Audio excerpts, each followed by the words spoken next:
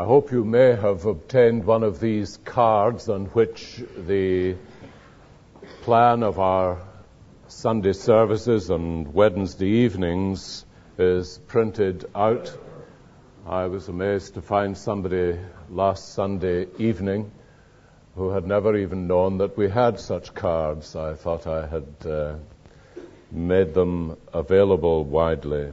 You will find that in that card this morning our text is 1 Peter 3:15 and our theme in the general subject of knowing Christ is the particular theme of knowing Christ as the indwelling Lord. Our purpose as we turn to 1 Peter 3 again this morning is very simply in the words that the Apostle Paul used as he prayed for his Ephesian Christian brothers and sisters that you might come to know Christ better. Now, as we turn to this particular verse, let's bow for a moment in prayer.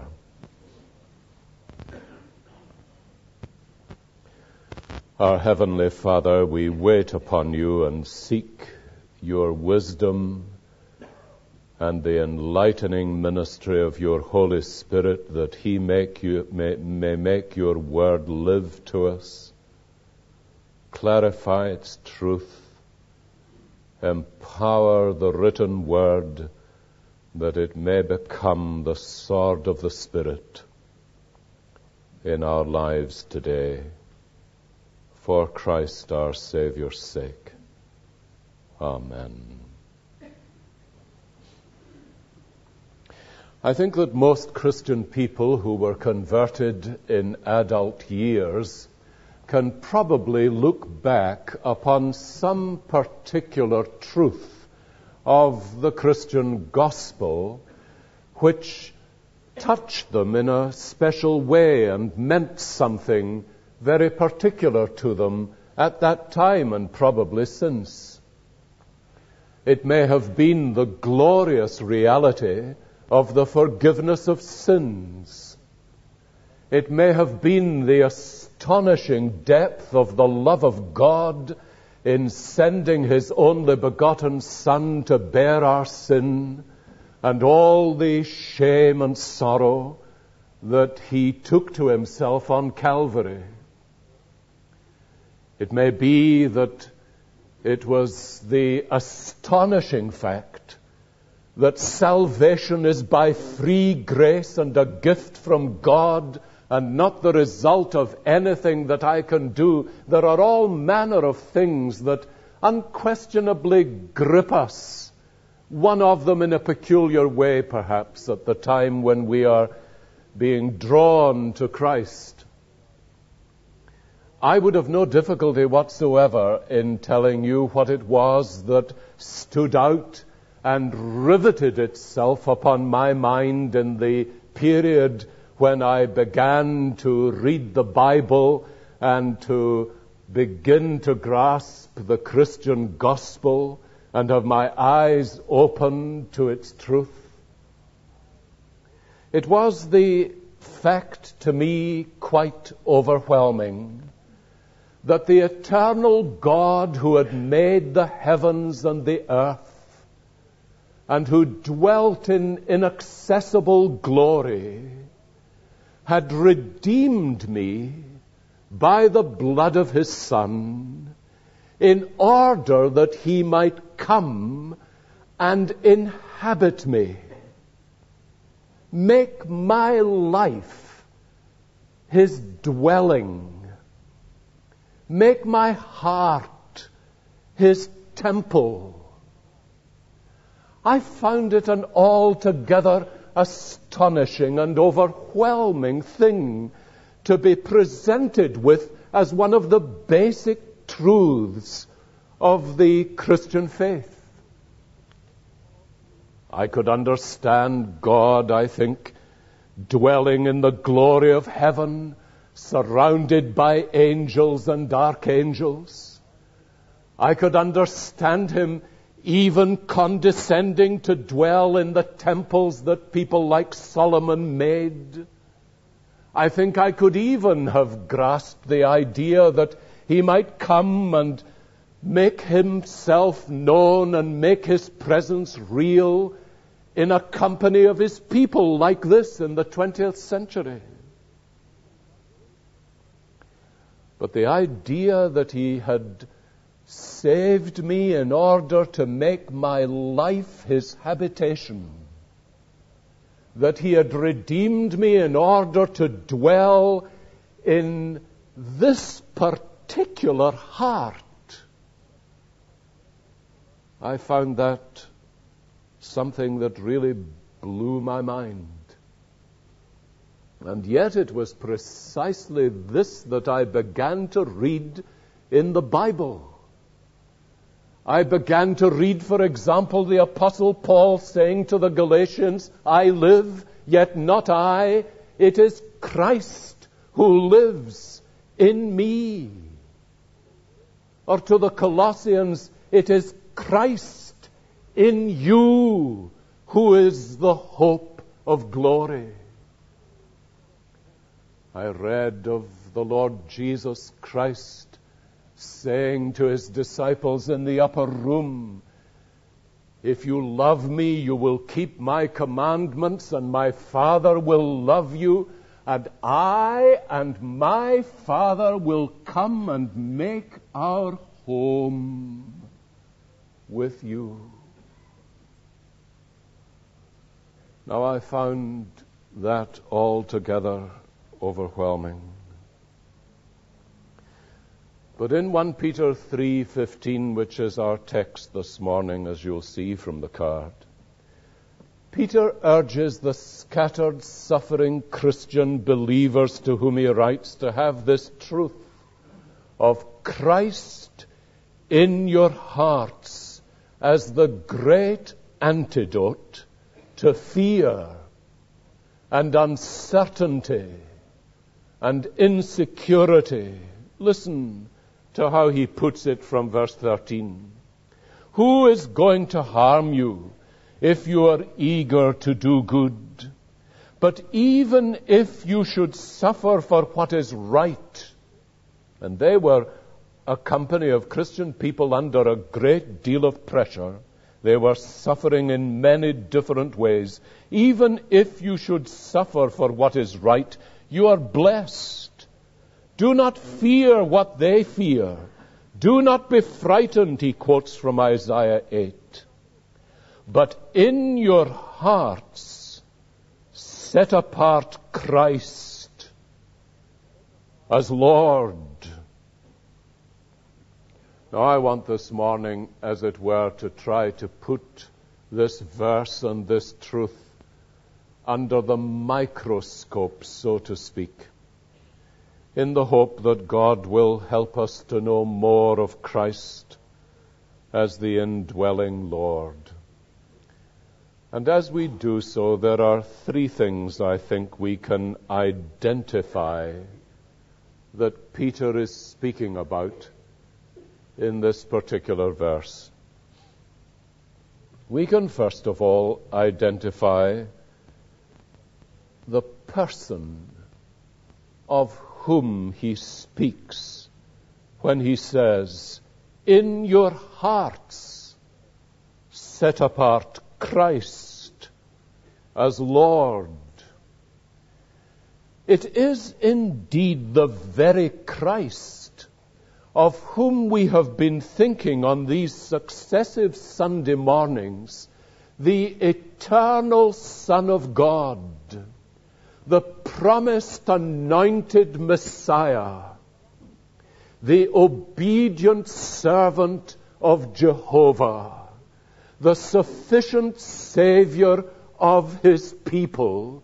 It is this Christ who existed before the world began and came in the fullness of time to be the revelation of God and the Savior of men and women it is this one of whom Peter says he is to be set apart in our hearts.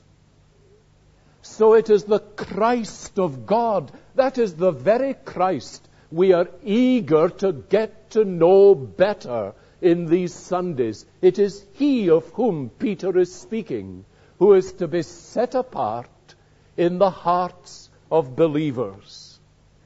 But you will notice that he has given another title to identify him more fully. Not just the title of Christ, but the title of Lord.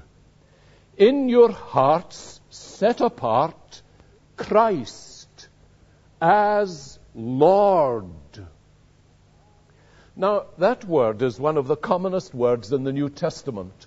I'm told by people who discover these things, and I've often wondered how they discover them, that it occurs over 700 times in the New Testament. I have got the peculiar kind of mind that immediately imagines somebody sitting down and going through all of these numbers of times the word occurs, but it is significant that it does occur, and I'm grateful to people who tell me. It is significant that it occurs so frequently. It's one of the commonest words in the New Testament. it carries the idea of authority and supremacy. It speaks to us about one who is to be obeyed by others. Hence, Jesus says to his disciples, Why do you call me Lord, Lord, and do not do the things that I say? Because the very title carries the idea of authority and superiority and implies that his words, the Lord's words, will be obeyed. Lordship implies obedience and submission.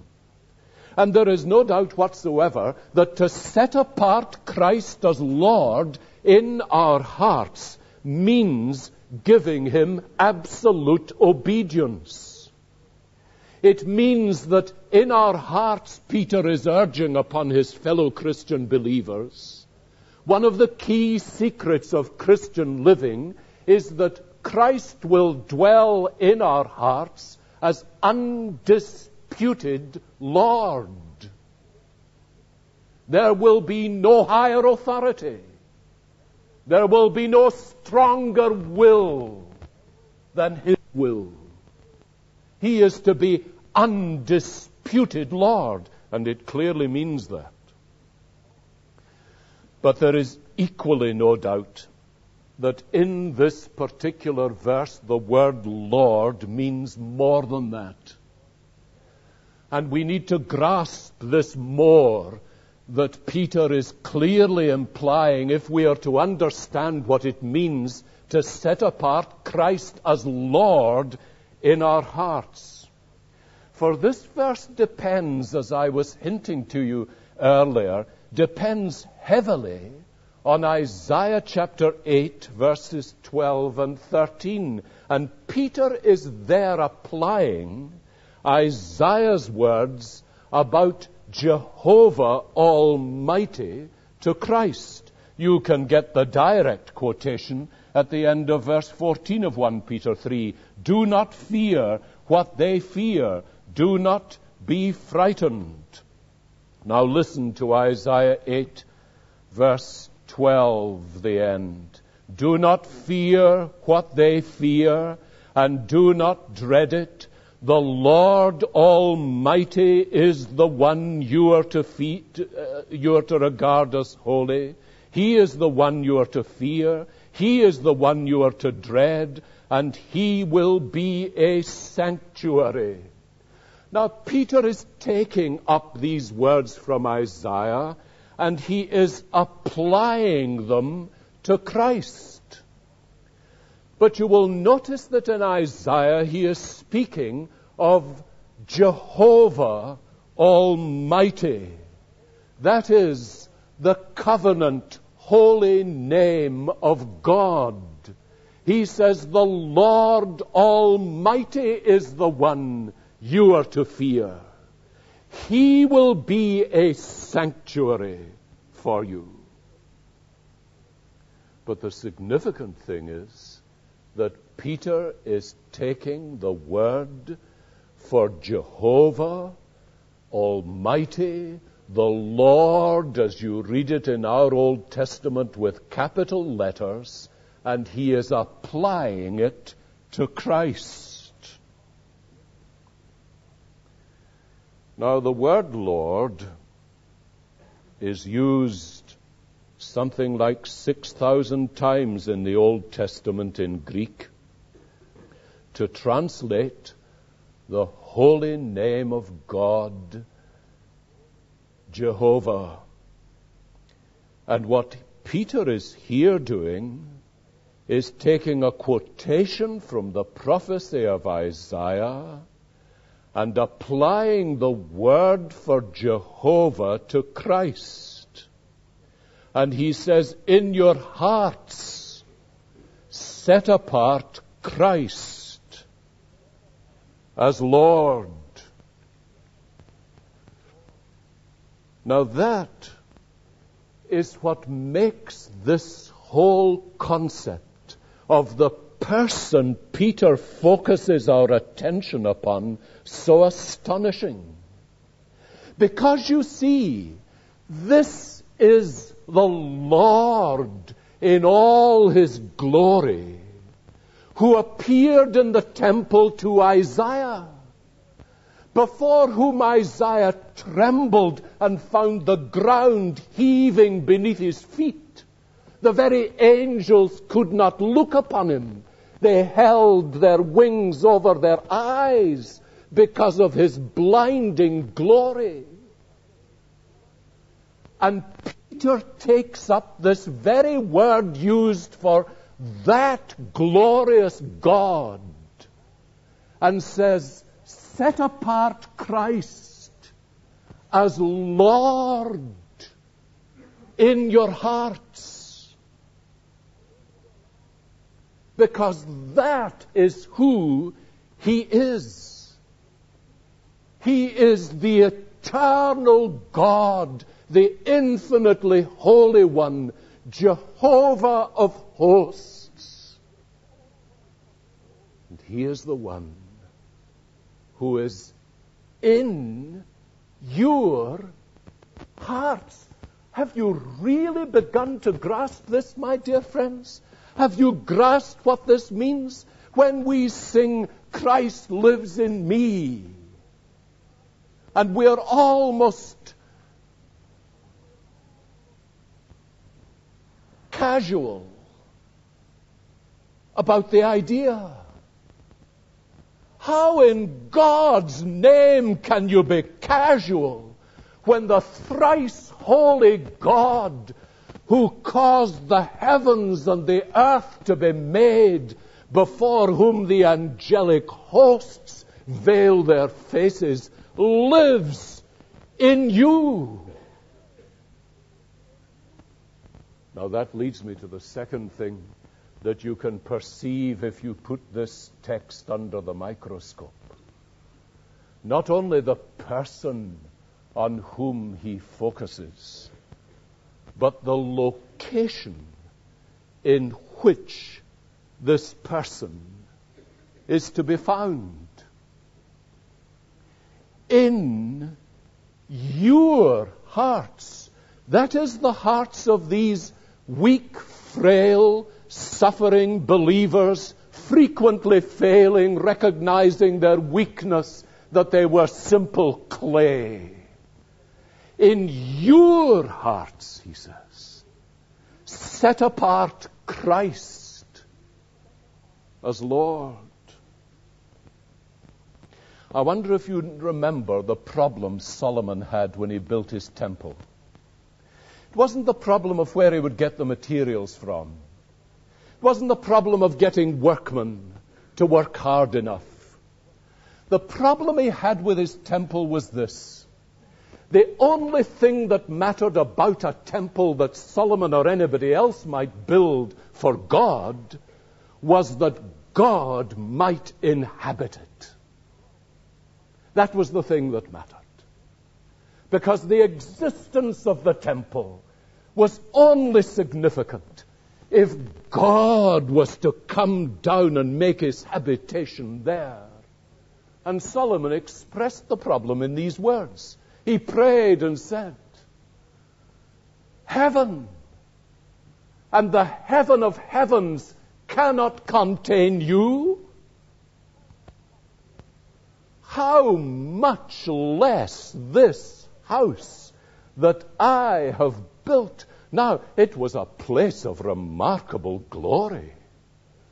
Solomon's temple was something out of this world. And you might have thought if there was any place on earth where God might have been pleased to dwell, it would have been there. But he said, Heaven and the heaven of heavens cannot contain you. How much less this house that I have built?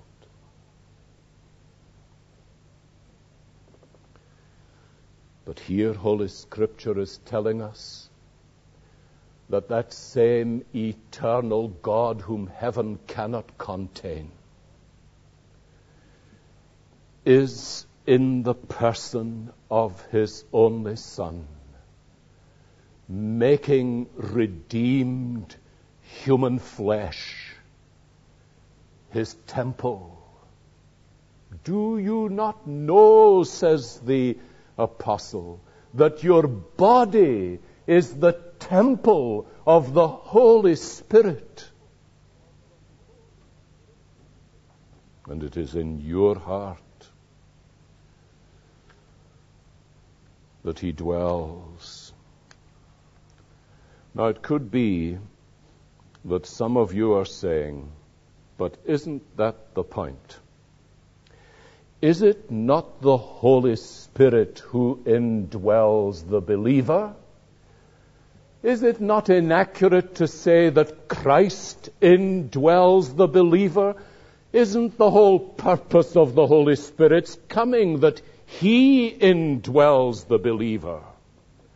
Not Christ, but the Holy Spirit. Now, that's a good question. But it only gets nine out of ten. For two reasons. One is you can never you may never divide the persons of the Holy Trinity from one another. They are indivisible, and therefore we may not think of the Holy Spirit apart from Christ, and Christ apart from the Father, or the Spirit apart from the Father. They are indivisible. And where the Holy Spirit is, the whole Godhead is there.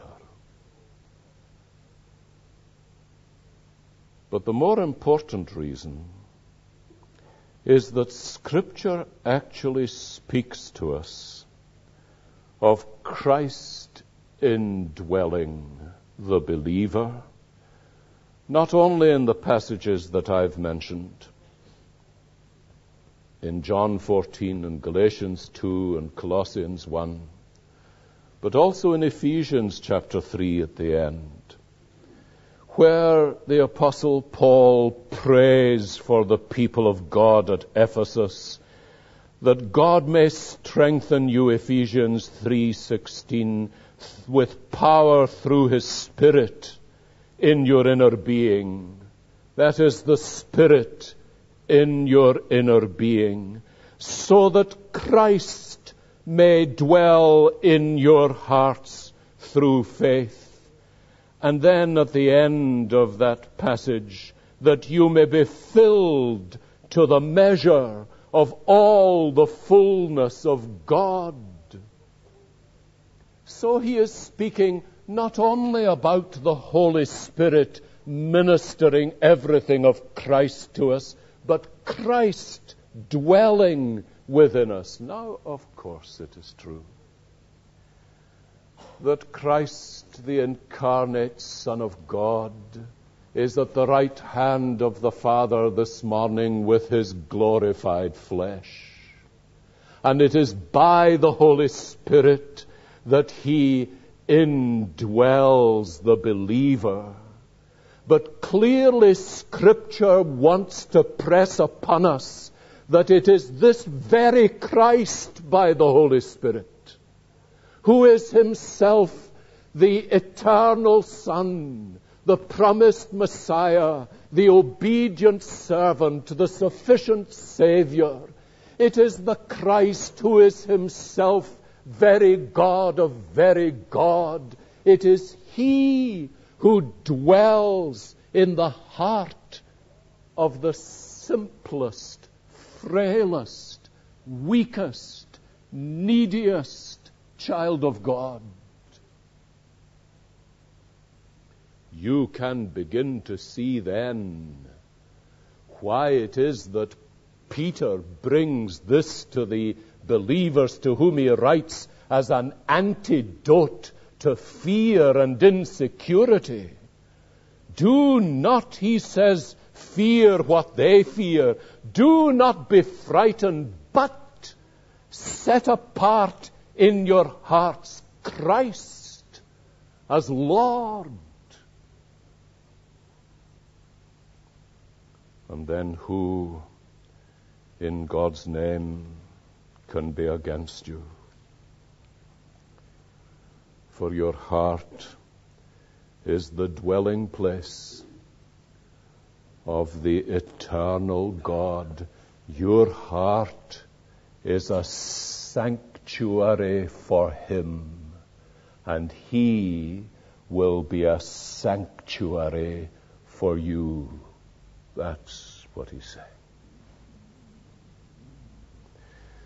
But here's the third thing that becomes apparent as we put this verse under the microscope. Not only the person of whom he is speaking and the location where this person is to be found, but there is an exhortation laid upon Christians in view of Christ's indwelling. And you will note that it's in these two little words in your hearts, set apart Christ as Lord. Now, in some versions, the words set apart are translated as sanctify. It means to regard with awe and worship. It is, in fact, the same word that we use in the Lord's Prayer when we pray, Hallowed be thy name we are saying, Your name is holy. Our Father, your name is holy. And we long that it might be honored and your glory manifested in the world. So Peter urges us, let Christ be set apart as Lord of Lords in your heart in a place of solitary glory. There is none other in the entire universe to whom you will give such honor and glory as to him. He will be loved with a love that has no equal. He will be exalted to a place where he has no rival. He will be honored and trusted in a way that has no parallel. That is how Christ will be set apart in the heart of the believer. And our hearts will become that kind of sanctuary. And when people see the manifestation of this in our lives, they will most certainly say, I wonder who lives there.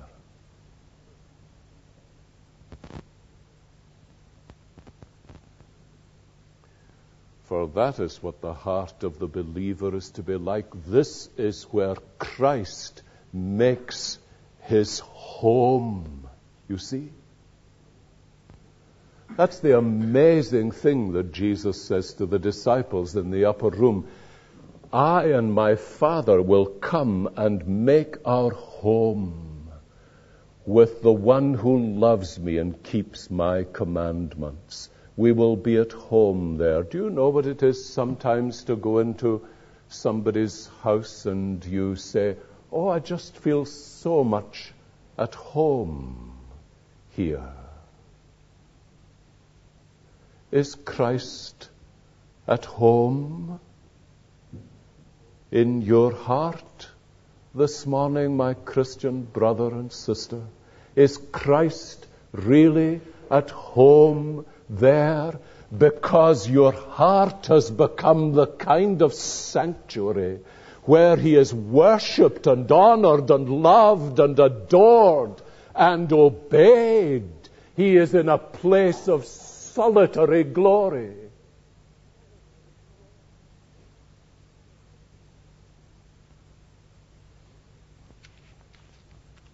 And then you will have the answer to all manner of fear and insecurity and despair. Because there dwells in you the eternal Son of God, the Creator of the ends of the earth, to whom all power and authority belongs.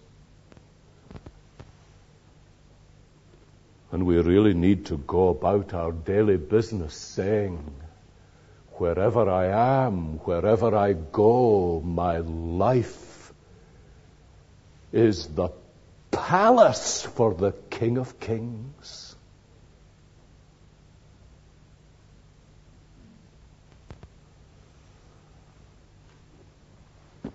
Any Christian who ever felt insignificant gets it cured there. Let's pray together.